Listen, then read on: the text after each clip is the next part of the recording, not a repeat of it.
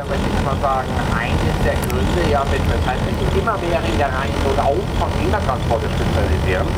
Nehmen wir mal so einen Stückgutfrachter und sagen wir mal, der kann 20.000 Tonnen Waren aufnehmen.